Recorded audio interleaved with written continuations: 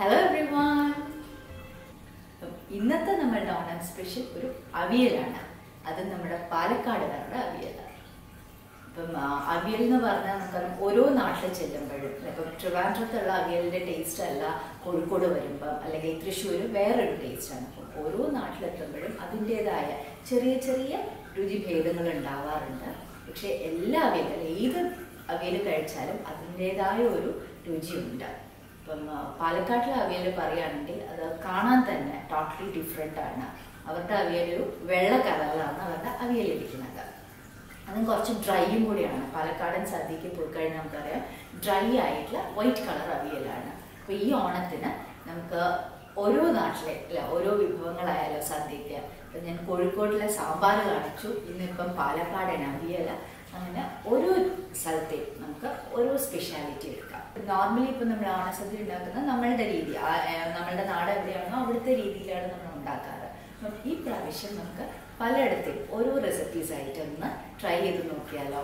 അതേപോലെ ഇപ്പം ഈ എപ്പിസോഡിന്റെ ലാസ്റ്റ് ആയിട്ട് ഞാൻ ഇതിനു മുമ്പ് ഇട്ടിട്ടുള്ള കഴിഞ്ഞ വർഷം എല്ലാം ഇട്ടിട്ടുള്ള ഓണം സ്പെഷ്യലിന്റെ ആ ഒരു പ്ലേലിസ്റ്റ് കൊടുക്കുന്നുണ്ട്. അപ്പം അതിനകത്ത് നമ്മുടെ സദ്യക്കുള്ള എല്ലാ വിഭവങ്ങളും അതിനകത്ത് കാണിക്കുന്നുണ്ട്. എപ്പോഴും ഓർമ്മിപ്പിക്കുന്ന പോലെ തന്നെ ഇപ്രാവശ്യം ഓർമ്മിപ്പിക്കുകയാണ് ഇതുവരെ ഈ ചാനൽ സബ്സ്ക്രൈബ് ചെയ്യാത്തവരെ ഒന്ന് സബ്സ്ക്രൈബ് ചെയ്യുക. പിന്നെ എപ്പിസോഡ് കണ്ടു കഴിഞ്ഞാൽ ലൈക്ക് ബട്ടൺ ഒന്ന് ക്ലിക്ക് ചെയ്യാൻ മറക്കരുത്. അതേപോലെ ഫ്രണ്ട്സിനും ഫാമിലിക്കും എല്ലാം ഈ ചാനൽ ഒന്ന് ഷെയർ ചെയ്ത് കൊടുക്കാനും വിട്ടുപോകരുത്. ഓക്കെ അപ്പം നമ്മളുടെ ഈ സ്പെഷ്യൽ പാലക്കാടൻ വെള്ള അവിയൽ എങ്ങനെ ഉണ്ടാക്കാമെന്ന്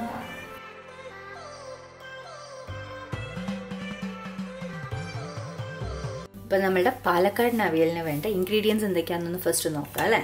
അപ്പം അതിനായിട്ട് ഞാനിവിടെ വെജിറ്റബിൾസ് ഒരു ഇരുന്നൂറ് ഗ്രാം ഇളവൻ അല്ലെങ്കിൽ നമ്മളുടെ കുമ്പളങ്ങയില്ലേ അതാണ്. അപ്പം എല്ലാവർക്കും അറിയാം അവിയൽ എന്ന് പറയുമ്പോൾ എല്ലാം നീളത്തിൽ അരിഞ്ഞതാണ്.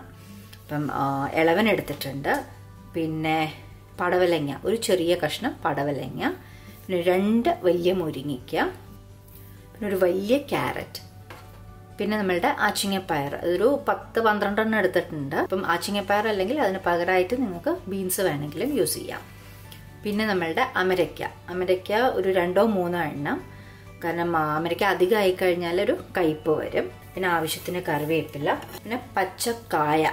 ഒരു ഒരു പച്ചക്കായ ഞാൻ എടുത്തിട്ടുണ്ട്. അതൊന്ന് വെള്ളത്തിലിട്ട് വെച്ചതാണ്. അതിന്റെ കറയൊക്കെ പോകാനായിട്ടും കളർ മാറാതിരിക്കാനായിട്ടും ഒന്ന് വെള്ളത്തിലിട്ട് വെച്ചതാണ്. പിന്നെ അരപ്പിനായിട്ട് തേങ്ങയും പച്ചമുളകും. ഇത് രണ്ടും മാത്രമേ നമ്മൾ പാലക്കാടൻ അവിയലിന് അരയ്ക്കുകയുള്ളൂ അല്ലാണ്ട് ജീരകമോ പിന്നെ ഉള്ളി ഒന്നും അരയ്ക്കില്ല. അപ്പം ആ, തേങ്ങ എപ്പോഴും നമ്മൾ അവിയലിന് കുറച്ച് കൂടുതലായിട്ട് അല്ലേ? എത്ര തേങ്ങ ഇടുന്നോ അത്രയും ടേസ്റ്റ് കൂടും. അപ്പം ഞാനിപ്പോൾ ഒരു ഒരു കപ്പോളം ടു ഫിഫ്റ്റി എം എൽ ഗ്ലാസ്സിന്റെ ഒരു കപ്പോളം തേങ്ങ എടുത്തിട്ടുണ്ട്. അപ്പം തേങ്ങയൊക്കെ നിങ്ങൾക്ക് ആവശ്യാനുസരണം അപ്പം കൂട്ടും കുറയ്ക്കും ഒക്കെ ചെയ്യാം. പിന്നെ പച്ചമുളക് ഒരു അഞ്ചാറ് പച്ചമുളക് എരിവുള്ള പച്ചമുളകാണ്. കാരണം വേറെ ഇപ്പം നമ്മൾ മുളക് പൊടിയോ അങ്ങനെ ഒന്നും എരിവിന് ഇടുന്നില്ല. പച്ചമുളകിന്റെ ഒരു എരിവ് മാത്രമേ ഉള്ളൂ. അപ്പം പച്ചമുളകിന്റെ എരിവ് അനുസരിച്ചിട്ട് ഇപ്പം കൂട്ടും കുറയ്ക്കും ഒക്കെ ചെയ്യണം അതിന്റെ എണ്ണം. പിന്നെ കുറച്ചൊരു പുളിയുള്ള തൈരാണ് വേണ്ടത് ഇതിന്. കാരണം നമ്മൾ അല്ലാണ്ട് ഇപ്പം മാങ്ങയോ പുളിയോ ഒന്നും ഇതിന് ചേർക്കണില്ല. ഇപ്പം തൈരിന് പകരം നിങ്ങൾക്കിപ്പം പച്ചമാങ്ങയോ അല്ലെങ്കിൽ പുളിയോ ചേർക്കാം. പക്ഷെ പ്രോപ്പർ പാലക്കാടൻ അവിയലിൽ അവർ തൈരാണ് ചേർക്കാറുള്ളത്. പിന്നെ ഒരു അരക്കപ്പ് കപ്പ് തൈര് എടുത്തിട്ടുണ്ട്. പിന്നെ ഉപ്പ് ആവശ്യത്തിന്. പിന്നെ വെളിച്ചെണ്ണ. അപ്പം അവിയലാണ്. അപ്പം വെളിച്ചെണ്ണ തന്നെ യൂസ് ചെയ്യുക. വേറെ ഒരു എണ്ണ എടുത്താലും ആ അവിയലിന്റെ ടേസ്റ്റ് കിട്ടില്ല. അപ്പം അതുകൊണ്ട് ആവശ്യത്തിനുള്ള വെളിച്ചെണ്ണ. പിന്നെ വെജിറ്റബിൾസ് പറയുകയാണെങ്കിൽ ഇപ്പം നിങ്ങൾക്ക് നിങ്ങൾ സാധാരണ അവിയലിന് എടുക്കുന്ന വെജിറ്റബിൾസ് എല്ലാം എടുക്കാം. പിന്നെ ഇന്ന വെജിറ്റബിൾ വേണമെന്നൊന്നും ഇപ്പം ഞാൻ ചേന എടുത്തിട്ടില്ല. ചേന ഇരിപ്പില്ലായിരുന്നു. അല്ലെങ്കിൽ നിങ്ങൾക്ക് ചേന കുറച്ച് ചേന എടുക്കാം. നോർമൽ നിങ്ങൾ എന്തൊക്കെയാണോ അവിയലിന് എടുക്കുന്നത് ആ വെജിറ്റബിൾസ് എല്ലാം എടുക്കാം കേട്ടോ. ഇപ്പം ഫസ്റ്റ് ഈ പച്ചക്കറികളെല്ലാം ഒന്ന് വേവിച്ചെടുക്കണം. അപ്പം അതിനായിട്ട് ഇപ്പം ചേന നിങ്ങൾ യൂസ് ചെയ്യുകയാണെങ്കിൽ ഫസ്റ്റ് ചേന ഒന്ന് ഒരു രണ്ട് മൂന്ന് മിനിറ്റ് ഒന്ന് തിളപ്പിച്ചതിന് ശേഷം വേണം ബാക്കി വെജിറ്റബിൾസ് എല്ലാം ഇടാനായിട്ട്. അപ്പം ഞാൻ ഇന്നിപ്പോൾ ചേന എടുക്കാത്തത് കൊണ്ട് എല്ലാം കൂടെ ഒന്നിച്ചങ്ങ് ഇടുകയാണ്. മുരിങ്ങിക്ക് ഇടുമ്പം ഇതേപോലെ ഒന്ന് കീറിയിട്ട് അങ്ങോട്ട് ഇടുക. പാകം വേവാനായിട്ട് എളുപ്പമായിരിക്കും. ഇതല്ല നിങ്ങൾക്കിപ്പോൾ രണ്ടായിട്ട് ഇങ്ങനെ കട്ട് ചെയ്തിടണമെങ്കിൽ അങ്ങനെയും ചെയ്യാം. ഇനി കുറച്ച് കറിവേപ്പില പിന്നെ ആവശ്യത്തിന് ഉപ്പ് കുറച്ച് ഒരു ടേബിൾ സ്പൂണോളം വെളിച്ചെണ്ണ ഒന്ന്. കാരണം ഈ വെളിച്ചെണ്ണയിൽ കിടന്നിട്ട് നമ്മളുടെ ഈ പച്ചക്കറിയൊക്കെ വെന്ത് കഴിയുമ്പോൾ ഒരു സ്പെഷ്യൽ ടേസ്റ്റ് വരും. അത് ഏത് അവിയലാണെങ്കിലും കുറച്ച് വെളിച്ചെണ്ണ ഒന്ന് തൂവിട്ട് അതൊന്ന് വേവിച്ചു കഴിഞ്ഞാൽ ഒരു പ്രത്യേക ടേസ്റ്റ് ആയിരിക്കും. ഇതെല്ലാം ഒന്ന് മിക്സ് ചെയ്യാം. ഇനിയിപ്പം ഞാൻ ഒരു കാൽ കപ്പ് വെള്ളം ഒഴിക്കേണ്ട അധികം വേണ്ട. കാരണം എപ്പോഴും പാലക്കാടിന്റെ അവിയൽ എന്ന് പറയുമ്പോൾ കുറച്ച് ഡ്രൈ ആയിട്ട് തന്നെയാണ് ഇരിക്കുക. പിന്നെ ഈ നമ്മളുടെ ഇളവനീന്നും എല്ലാം അല്ല കുമ്പളങ്ങയിൽ വെള്ളം ഇറങ്ങും. അപ്പം അധികം വേണ്ട കുറച്ച്. ഒരു മൂന്ന് ടേബിൾ സ്പൂണോളൊക്കെ മതിയാവും. അപ്പം ലോ ഫ്ലെയിമിലിട്ടിട്ട് ഈ പച്ചക്കറിയൊക്കെ ഒന്ന് നന്നായിട്ട് നമുക്കൊന്ന് വേവിച്ചെടുക്കാം. അപ്പം ഇടയ്ക്ക് ഒന്ന് ഇളക്കി നോക്കുക. കാരണം അധികം വെള്ളമൊന്നും ഒഴിച്ചിട്ടില്ല. അപ്പം അടിയിൽ പിടിക്കരുത്. ഇപ്പം കഷ്ണങ്ങളൊക്കെ വേവുന്ന ടൈമിൽ നമുക്ക് ഈ തേങ്ങയൊക്കെ ഒന്ന് ചതച്ചെടുക്കാം.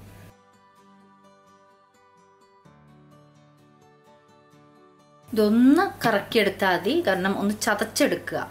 അല്ലാതെ അരയ്ക്കരുത്. വെള്ളം ഒട്ടും ചേർക്കരുത്. ഒന്ന് ഒരു പൾസ് ചെയ്തെടുക്കുക. നമ്മളുടെ മിക്സിയിൽ ഓരോ മിക്സിയിൽ ഓരോ പോലെ ആയിരിക്കും. ചിലതിൽ ലെഫ്റ്റിലോട്ട് ഒന്ന് പൾസ് ചെയ്തെടുക്കാൻ പറ്റുന്ന അല്ല ഒറ്റ പ്രാവശ്യം ഒന്ന് ലെഫ്റ്റിലോട്ട് തിരിക്കുക. അല്ലെങ്കിൽ ചില മിക്സിയിൽ പുഷ് ബട്ടൺ ആയിരിക്കും. അപ്പം അതേപോലെ ഒന്ന് പൾസ് ചെയ്തെടുത്തിട്ട് വരാം. ഇതേപോലെ ഇതാ. ഒന്ന് തേങ്ങയും പച്ചമുളകും ഒന്ന് ചതച്ചെടുത്തു.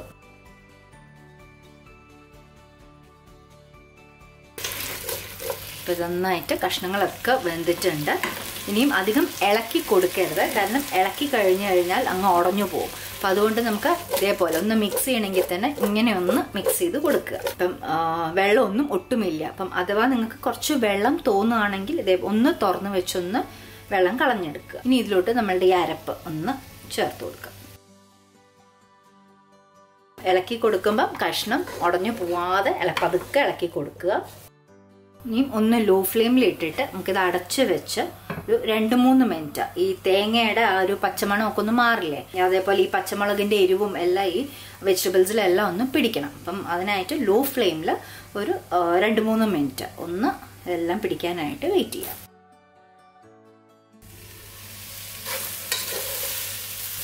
ഇനി ഇതിലോട്ട് ഇപ്പോൾ ഒരു മൂന്ന് ടേബിൾ സ്പൂണോളം തൈര് ഒഴിക്കുന്നുണ്ട് ലോ ഫ്ലെയിമിൽ തന്നെ ഇട്ടിരിക്കുകയാണ് എന്നിട്ട് നന്നായിട്ട് അത് തൈര് നമ്മൾ പുളി അനുസരിച്ച്. ഇപ്പം നല്ല പുളിയുള്ള തൈരാണെങ്കിൽ ഒരു രണ്ട് ടേബിൾ സ്പൂണൊക്കെ മതിയാവും. നന്നായിട്ടൊന്ന് മിക്സ് ചെയ്തു. ഇനി ഉപ്പ് ഒന്ന് നോക്കുക. കുറച്ചുകൂടെ ഉപ്പ് ആവശ്യമുണ്ട്.